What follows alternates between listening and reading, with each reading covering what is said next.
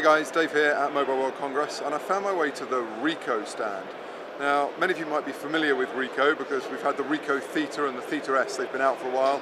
They're little 360 cameras that seem to be becoming ever more popular. Of course 360 is something that is growing rapidly and it's a new technology that people seem to be really latching onto.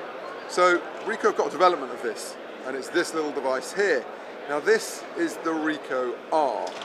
It looks it feels an awful lot like a Theta, like a Theta S. Um, and it does pretty much the same thing in the sense that it is 360 degree video. But what's different about this is that it is 360 degree live streaming.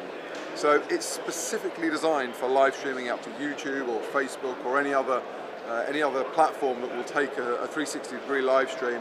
Um, and they're aiming kind of at the professional market with not much of a professional price.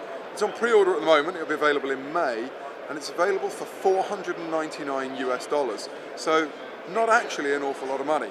Now, it doesn't have battery in on its own, so you've got to put an external battery pack in, you know, some kind of USB power supply. And it does need to take a feed out to go through either a laptop or some kind of decode box to be able to stream out onto the web. But as I say, a laptop will do it perfectly.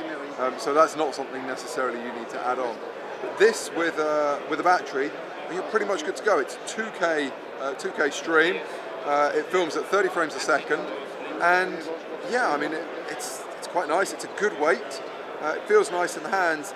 And I think it's going to be interesting to see where this 360 technology goes, particularly from a live point of view if you're thinking of uh, events, covering events, concerts, that kind of stuff, I think that's somewhere that 360 is going to be really good. It's going to be a real growth market uh, in the next couple of years.